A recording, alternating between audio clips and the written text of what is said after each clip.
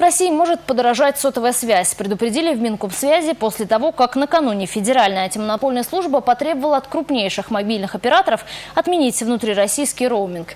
Большой четверке на отмену дано две недели. Время уже пошло. Требования ФАС касаются крупнейших компаний Вимпелком, это Билайн, МТС, Мегафон и Теле2. То есть практически всех мобильных абонентов России. Все они присутствуют в Чувашии. Мобильные операторы пока изучают документ. Для абонентов Мегафона безроуминг в поездках по России давно уже наступил, на наш взгляд. Большинство из них пользуются пакетными предложениями. Для клиентов других тарифных планов мы рекомендуем подключать услугу «Будь как дома». Мы, безусловно, получили текст предупреждения ФАС, и на данный момент этот текст текст пристально изучается у нас в компании. В такие сжатые сроки технически невозможно внести изменения в тарифные планы. Со своей стороны мы уже несколько месяцев как по факту отменили внутрисетевой роуминг на нашей новой тарифной линейке. Мы действительно считаем, что снижение межоператорских тарифов автоматически привело бы к тому, что внутрисетевой роуминг исчез бы сам по себе.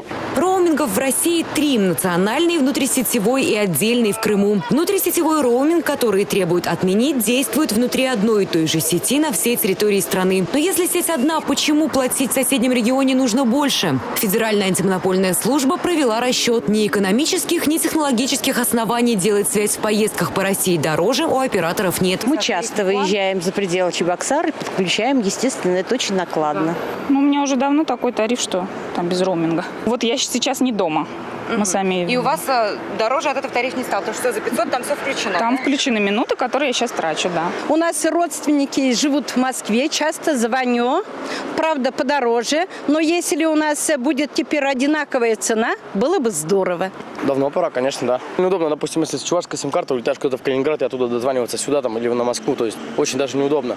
В Минкомсвязи России считают, что отмена роуминга ущемит права тех, кто им в принципе не пользуется. К такому мнению пришли и некоторые абоненты. В моем случае это да, будет накладно. Я не пользуюсь роумингом, и если будет это в цене, в тарифном плане будет увеличиваться, это будет невыгодно. Операторы большой четверки должны изменить тарифы на услуги связи в поездках по России, исключив необоснованную разницу цен. На исполнение требований ФАС у операторов осталось не так уж много времени. К началу августа они должны предупредить абонентов о смене тарифов, а затем еще через 10 дней запустить новые правила в действие.